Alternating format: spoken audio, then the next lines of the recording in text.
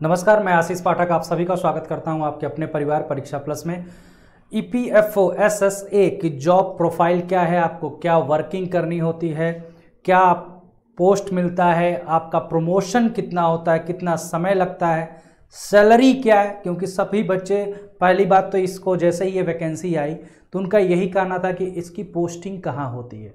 क्योंकि इसमें थोड़ा सा देखा जाए, एग्ज़ाम जो पैटर्न है, वो थोड़ा सा बैंकिंग से है। लेकिन इस बार जो एग्ज़ाम है, वो आपका एनटीए करा रही है। ठीक है, पहले आईबीपीएस कराई थी, लेकिन अब एनटीए करा रही है तो इससे रिगार्डिंग सर ने एक वीडियो बनाई है, उसे देख लीजिएगा कि क्या क्या चेंजेस होने की संभावनाएँ हैं। ठीक है, बाकी रही कि इस वीडियो में हम बात करेंगे कि आप जब जाओगे तो आपका किस पर काम करना होगा। ठीक है और अच्छा खासा पोस्ट है, अट्ठाईस पोस्ट है। जिन्हें भी तैयारी करना है, फॉर्म भर दीजिए। सत्ताईस तारीख से स्टार्ट हो जाएगा फॉर्म भरना और जिन्हें एकदम डेडिकेटली कि नहीं, मुझे ये नौकरी लेनी है। और एक बार ध्यान रखो भैया ईपीएफओ में ना, वहाँ पर सिर्फ़ यही ये चलता है, मनी बहुत है। क्लर्क पोस्ट पे जा रहे हो, अभी दिखाऊँगा कि सैलरी कितनी आ रही है। यहाँ पर यूपी में रहोगे, क्लर्क पोस्ट की सैलरी कितनी आती है, वो भी मैं बता दूँगा। और अगर आप ईपीएफओ ऑफ़िस में हो, वहाँ पे क्लर्क की सैलरी क्या है, वो आप खुद देख लीजिएगा। तो जिन्हें भी ईपीएफओ एसएसए की तैयारी करना है, वो परीक्षा प्लस ऐप से बैच परचेस कर सकते हैं। अभी ऑफ़र प्राइस में ये सिर्फ़ पाँच सौ निन्यानवे में पड़ रहा है। इसमें आपको हम पूरी की पूरी वीडियो क्लासेस, पाँच टेस्ट, पाँच सेक्शनल टेस्ट देंगे और जितने भी टेस्ट होंगे, उनकी पीडीएफ भी देंगे और समय समय पर आपको स्ट्रेटेजी बताएँगे कैसे इस एग्ज़ाम को क्रैक करना है। तो आगे बढ़ते हैं हम लोग। सबसे पहले ये मैं आपको बता दूँ कि सैलरी से पहले आपको बता दें कि जॉब में आपका कैसा जॉब है ये, ठीक है? ये ध्यान रखो कि इसकी जो जॉब है, वो क्लर्क बेसिस पे है। जो एसएससी की जॉब है, ये एक तरह से मान सकते हो क्या है? क्लर्कियल पोस्ट है, क्लर्क वाली जॉब है, डेस्क जॉब है। ठीक है, जैसे बैंक में क्लर्क होते हैं ना, वैसे ही एक क्लर्कियल पोस्ट है। ठीक, अब इसमें आपको जितने भी प्रोविडेंट फंड से रिलेटेड, जैसे मान लो ईओ है इन्फोर्समेंट ऑफिसर जो आपका निकला हुआ है अभी यूपीएससी जिसको कराती है, वो भी ईपीएफओ की वैकेंसी है। उन्हीं का हेल्प करना ही आपको कहीं ना कहीं, और जो सीनियर आपके एसएससी होते हैं, उनका हेल्प करना या सेक्शन ऑफिसर होते हैं, उनका हेल्प करना आपका काम होता है। तो बेसिकली इतना जानो कि क्लर्कियल जॉब है, बस इतना है आपको करना है। रही बात पोस्टिंग की कि ये पोस्टिंग कहाँ की जाती है इनकी? तो यहाँ पर ध्यान रखो कि आपका पोस्टिंग जो होता है, वो हेडक्वार्टर पे नहीं होता है। ठीक है? हेडक्वार्टर में नहीं होता है। ये फ़ील्ड जो आपके फ़ील्ड ऑफ़िस है ना फ़ील्ड ऑफ़िस जिसको रीजनल ऑफ़िस बोलते हैं रीजनल ऑफ़िस में होगा। ठीक है? रीजनल ऑफ़िस में आपकी पोस्टिंग होगी। इसके रीजनल ऑफ़िस हर जगह है, जैसे लखनऊ में भी है, गोरखपुर में भी है। ठीक है? तो रीजनल ऑफ़िस आपके हर जगह मिल जाएँगे, वहीं पर आपकी पोस्टिंग होगी। अच्छा ऑफ़िस होता है इन्वायरमेंट भी बहुत बेहतरीन होता है। अब आते हैं पोस्टिंग तो आपको पता चल गई कि आपकी रीजनल में होगी।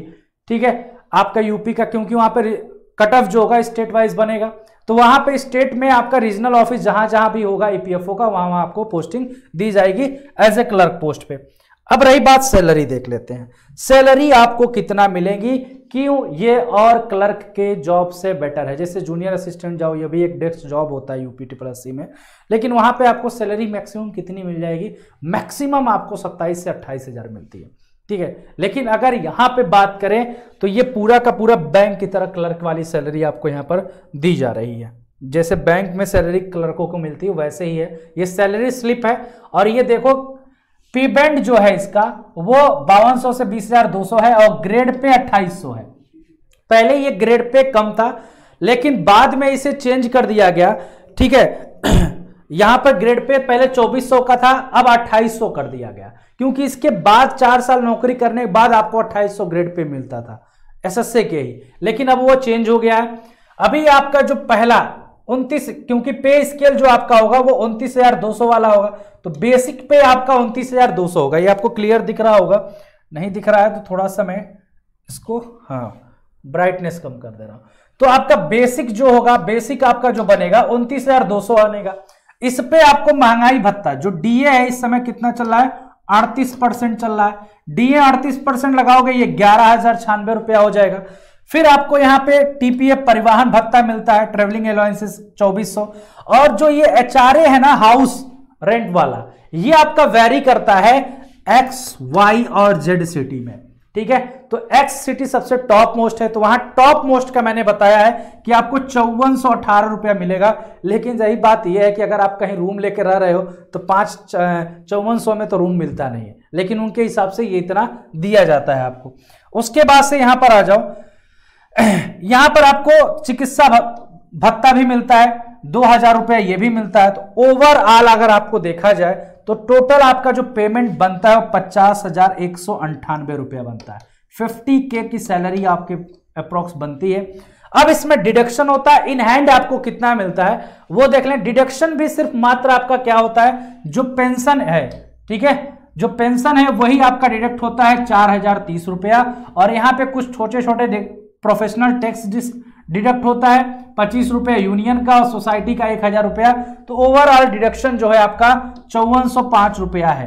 ये डिडक्ट करने के बाद इन हैंड आपको सैलरी फोर्टी फोर के के अप्रोक्स मिलती है, चौवालीस हज़ार सात सौ तिरानबे ठीक है? ये आपको मिलता है। समझ में आ गया? तो ये आपकी सैलरी बहुत अच्छी खासी सैलरी ये आपको इनिशियल में जैसे जाओगे तो ये आपकी सैलरी बनेगी और ये सैलरी स्लिप जनवरी की है, आप देखोगे यहाँ पे लिखा हुआ है। जनवरी 2023 ठीक है? बाकी डिटेल हटा दी गई है। अब आती है इसमें कि सैलरी सर बता दी प्रमोशन में हम कहाँ तक जा सकते हैं? एसएसए के प्रमोशन से हम कहाँ कहाँ जा सकते हैं? तो सबसे पहली बात कि अभी आपका जो 24 2800 ग्रेड पे है आपका इसके बाद एसएसए सोशल सिक्योरिटी असिस्टेंट है आप। इनके बाद से आपका जो प्रमोशन होगा इसके बाद तो वो आप सीधे बनेंगे क्या? अभी आपका 2800 ग्रेड पे जीपी जो है आपका 2800 है। आप बनेंगे सीनियर एसएसए ठीक है? सीनियर एसएसए बनेंगे और इसका ग्रेड पे आपका बयालीस ग्रेड पे होता है। ठीक है? एसआई वाला ग्रेड पे है आपका यहाँ पर। इसके बाद से जब आपका प्रमोशन होगा, और यहाँ से यहाँ आने में आपको कम से कम पाँच से छह साल लग जाता है। ठीक है? पाँच से छह साल लग जाता, पहले और टाइम लगता था सीनियर बनने में। लेकिन अभी पाँच से छह साल आपको लग जाएगा।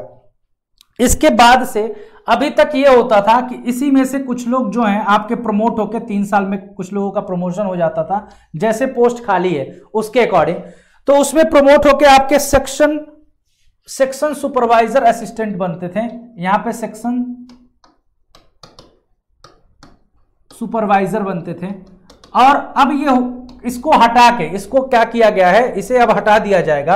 और अब आपका जो प्रमोशन होगा वो ईओ पे होगा। ईओ या एओ पे होगा। ठीक है? अब ईओ, एओ क्या है? अब इसका जो एग्ज़ाम होता है ना बच्चों, इसका एग्ज़ाम कौन कराता है? यूपीएससी कराता है। आप देखे होगे, अभी फॉर्म आया हुआ है। इन्फोर्समेंट ऑफिसर और अकाउंटेंट ऑफिसर और यहाँ पे जो आपका ग्रेड पे बनेगा, वो 4800 ग्रेड पे बनेगा.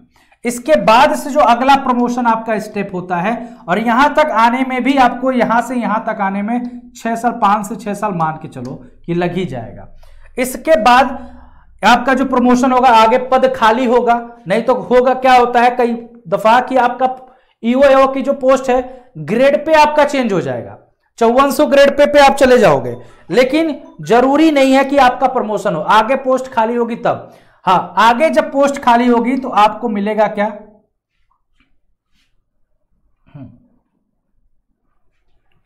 एपी एपीएफसी एपीएफसी का पोस्ट मिलेगा और ये कमिश्नर का पोस्ट होता है। असिस्टेंट प्रोविडेंट फंड कमिश्नर ठीक है? ये आपका पोस्ट मिलेगा और ये सबसे यहाँ तक तो बहुत पहुँच जाओगे पहुँच जाओगे। तो थोड़ा सा रीजनल प्रोविडेंट फंड कमिश्नर के पास पहुँच जाओगे ग्रेड टू पे, ठीक है? ग्रेड टू पर मैक्सिमम जा सकते हो आप एसएसए से, ठीक है? अभी मैं दिखाऊँगा कि आपका क्या है प्रमोशन की ये है देखो सोशल सिक्योरिटी असिस्टेंट है, उसके बाद से सीनियर एसएसए बनोगे, जो आपका बयालीस ग्रेड पे पे आपका आएगा। ठीक है, पाँच से छह साल मान के चलो, फिर सेक्शन सुपरवाइजर होता था, अब इसको कहा गया है, इसको मर्ज कर दिया जाए इसी के साथ। सेक्शन सुपरवाइजर होता था, कुछ लोग बनते थे, और EO enforcement officer accountant officer ये आपका बनते हैं, ये आपका आपका अड़तालीस ग्रेड पे हो जाएगा। अड़तालीस ग्रेड पे का होता है, फिर APFC assistant provident fund commissioner बनते हैं। पाँच से छह साल यहाँ पे भी मान के चलो कि ये भी आपका लगेगा, ज़्यादा भी लगता है। तो ये चौवन ग्रेड पे की जॉब है आपकी। अब आगे बढ़ते जाओगे तो आप बहुत पहुँच पाओगे रिटायरमेंट तक अपने तो आरपीएफसी तक पहुँच पाओगे ग्रेड टू तक। ये क्या है? Regional provident fund commissioner grade two तक। यहीं तक आपका हो सकता है रिटायरमेंट हो जाए और बहुत होगा तो यहाँ हो जाएगा। ठीक है? तो ये आपके प्रमोशन है। आपको प्रमोशन ये है कि जल्दी जल्दी होता रहता है प्रमोशन यहाँ पर यह ध्यान रखो। अब इसमें एक थोड़ा सा और मैं आपको डिटेल बता दूँ कि एक्चुअली क्या होता है? कि इसमें जो हेडक्वार्टर की जॉब होती है सबसे इसमें ईपीएफओ में सबसे नीचे पोस्ट भरा जाता है आपका एमटीएस से। एमटीएस के आगे आते हैं, जैसे मान के चलो यहाँ पे अगर मैं थोड़ा सा हेरिकल आपको समझाऊं तो हेड हेड ऑफ़िस का एक जॉब होता है, एक फ़ील्ड ऑफ़िस का जॉब होता है। तो फ़ील्ड ऑफ़िस में जो आपको मिलता है ना, जैसे एमटीएस मिलेगा। एमटीएस के ऊपर आपको एलडीसी होता है और एलडीसी के ऊपर एसएसए होता है। फिर यहाँ से आपका क्या हो जाएगा? सीनियर हो जाएगा। सीनियर एसएसए मिलेंगे। तो ये चलता है आपका। हेड ऑफ़िस वाले में ऐसा चलता है। लेकिन फ़ील्ड वाले में इसमें जब आओगे, इसमें थोड़ा अलग चलता है। इस वाले में जब आओगे, इसमें आपका क्या है? हेड ऑफ़िस में एमटीएस है। एमटीएस के पास आपको एलडीसी होंगे। यहाँ पे यूडीसी आता है। ठीक है upper division clerk upper division clerk का फ़ील्ड ऑफ़िस में जो रीजनल ऑफ़िस है, वहाँ पे उनका वर्क नहीं होता है, उनका और हेड ऑफ़िस में होता है। तो ये ध्यान रखिएगा, जिसको हेड ऑफ़िस वैसे ये निकलता नहीं है, ये इसकी वैकेंसी आपको प्रमोशन के थ्रू ही होती है। ठीक है, उसके बाद से यहाँ पर जो बनता है, वो असिस्टेंट आता है हेड ऑफ़िस में। हेड ऑफ़िस में एसएससी की जगह असिस्टेंट आता है और इसकी जो नियुक्ति होती है, ये कहा जाए एसएससी से होती है हेड ऑफ़िस में। ठीक ये छियालीस सौ ग्रेड पे की यहाँ पे जॉब होती है। यहाँ बयालीस सौ वाला नहीं रहता है। ठीक है? छियालीस सौ ग्रेड हेड ऑफ़िस का अलग चलता है और ये फ़ील्ड वाला है। फ़ील्ड रीजन में आपको वैकेंसी है, इसीलिए जोनल वाइज आपको मिला है यहाँ पर। जोन वाइज आपका कट ऑफ़ बनेगा। ठीक है? चलिए। और कहाँ तक इसमें, इस ब्रांच में कहाँ तक आप जा सकते हो? जैसे एसीसी होता है additional central provident fund commissioner ये आपका क्या होता है कि जो जोन के ऑफ़िस होते हैं ना, जो जोनल ऑफ़िस होते हैं, उसका हेड होता है। ठीक? तो ये आपके प्रमोशन के चार्ट है। ठीक है? जिनको भी बैच भाई लेना है, मैं पहले भी बता रखा हूँ कि बैच ये स्टार्ट हो चुका है। मात्र पाँच में ऑफ़र प्राइस चल रहा है और अच्छी जॉब है। डेडिकेटेड बैच है। आप एकदम इस बैच को लीजिए क्लासेस रेगुलर करिए। ये आसानी से आपको कहीं ना कहीं कि आपको क्या है इसमें? सबसे पहला कि जो प्री है आपका, वो एकदम आसान है। आपका मैथ्स रीजनिंग और इंग्लिश यही है। अगर और प्री का मार्क्स कोई भी आपका मेंस में जोड़ा नहीं जाएगा, सिर्फ़ स्क्रीनिंग टेस्ट है। मेंस में आप अच्छे से मेहनत कर लीजिए सिलेक्शन पक्का हो जाएगा। आपको पूरी स्ट्रेटजी इसकी बताई जाएगी कि कैसे आप तैयारी करो ताकि आपका मेंस में सिलेक्शन हो जाए। तो ये तो रही आपकी पूरा ईपीएफओ एसएसए की जॉब प्रोफ़ाइल यदि आपको किसी भी कोई भी समस्या है तो आप इस वीडियो के कमेंट में ज़रूर बताइएगा। इसी के साथ मैं आप सभी से विदा लेता हूँ। आप सभी का बहुत बहुत धन्यवाद।